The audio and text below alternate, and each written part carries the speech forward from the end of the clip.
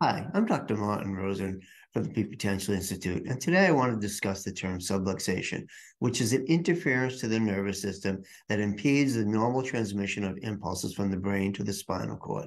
It also changes the quality, quantity, and speed of nerve impulses and affects the movement of cerebral spinal fluid, which is basically supplies nutrients to the brain as well as takes away waste products.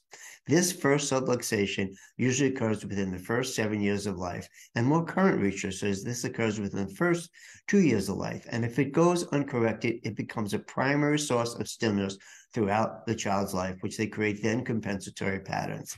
If this subluxation occurs, especially in the base of the brainstem or spinal cord, it affects what's called the pre-programmed proprioceptive feedback loops. This can affect milestone development, primal reflexes, and it also can create symptomatology that will continue to advance if it goes uncorrected throughout the child's life.